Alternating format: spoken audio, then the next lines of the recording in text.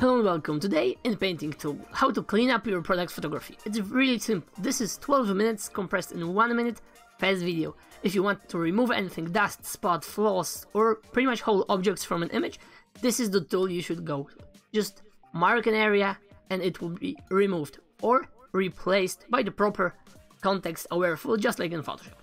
The link is here if you want to remove anything, check out this video, there are 18 examples of removing stuff, and this is just the basics I encourage you to play around this, grab a couple of images from the internet and try to remove different parts. You will get a feeling how this tool works and how powerful it really is.